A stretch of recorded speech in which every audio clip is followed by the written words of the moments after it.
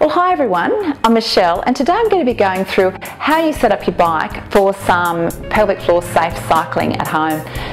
So I'm just going to take you through how to set up the actual position of the, the bike and just some do's and don'ts while you're actually cycling and just some little tips that might help you.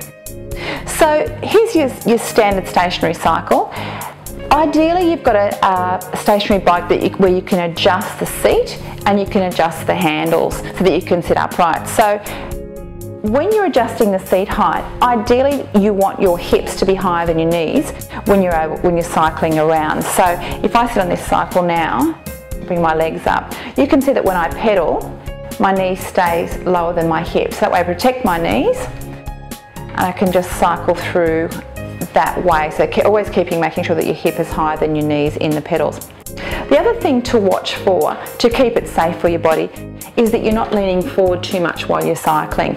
So with this particular uh, bike, you can adjust the, the arm handles and they can come up back towards me or they can move down. So ideally you want them so that you can actually sit nice and tall while you're cycling. So you can be engaging your core muscles just gently and cycling, engaging your shoulder blades so you've got that nice tall posture while you're cycling.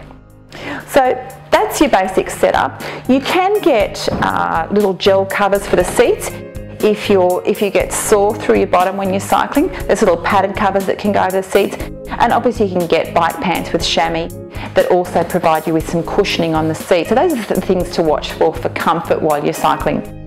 Now, a couple of pelvic floor safe, safe tips. When you are cycling, um, keep your resistance light to moderate. So that means you can pedal at a nice steady rate but you're not having to strain and push through heavy gears. So it's that pushing through the heavy gears that you want to avoid, that really heavy loading through the legs that's going to make you likely to strain.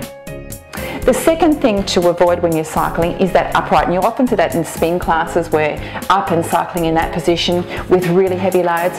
Avoid that if your pelvic floor is at risk. So you want to avoid being out of the saddle and stay seated in the saddle.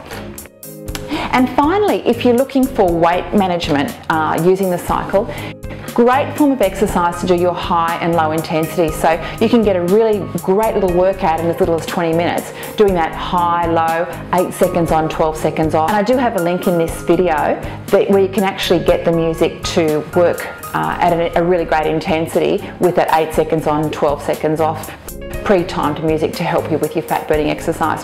So that's just some uh, information, some quick little tips remembering when you're sitting up, when you're setting up, so you can get your cushioning for your seat, making sure you're nice and comfortable, your sit bones are evenly placed on the, on the on the seat, that your hips are higher than your knees, that you're sitting nice and tall and upright, not straining forward, hurting your neck and hurting your middle back, and that you're keeping it at a, a nice light to moderate resistance, keeping your bottom in the saddle.